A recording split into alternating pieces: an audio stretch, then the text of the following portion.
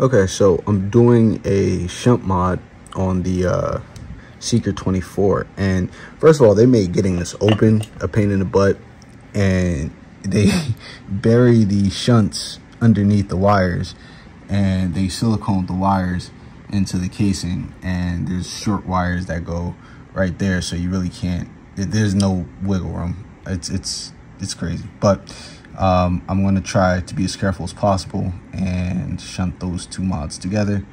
And we're just going to do the one controller for now and test out how that is.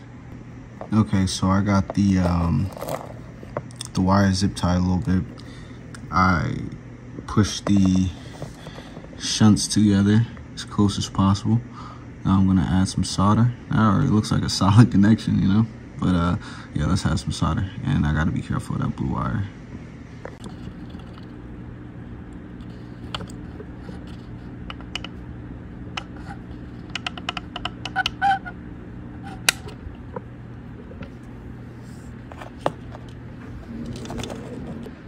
Okay, so I have the batteries put back in. When I turn on the bike, um, there should be like a little red LED that flashes somewhere on the board. I think it's either that LED or it's gonna come on somewhere if everything didn't short circuit. and there we go.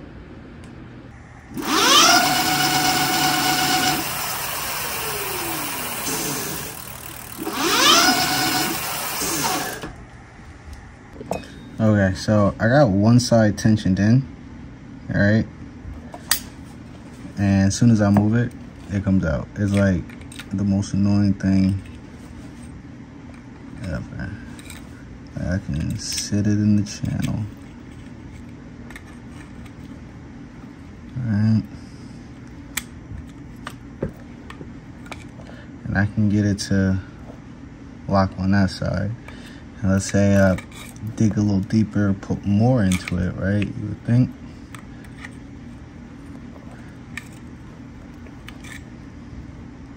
And it pops out. I just can't figure this out.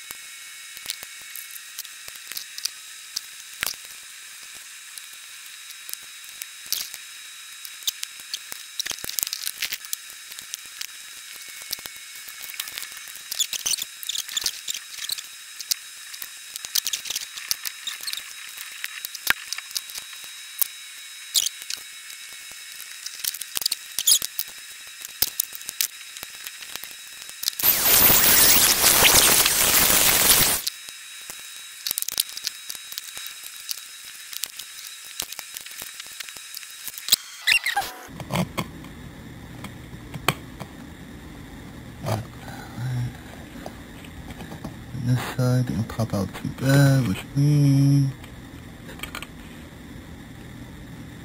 that's in.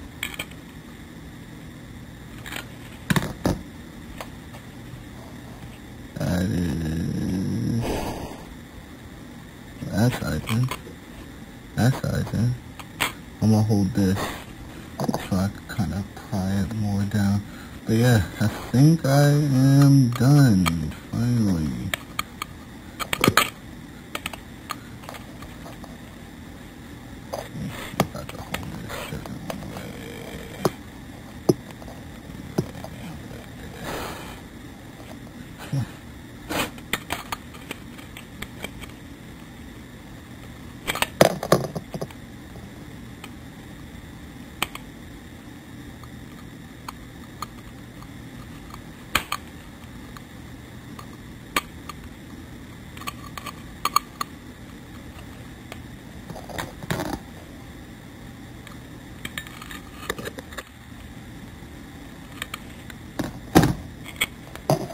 Alright, so pain in the ass, but I got it back in.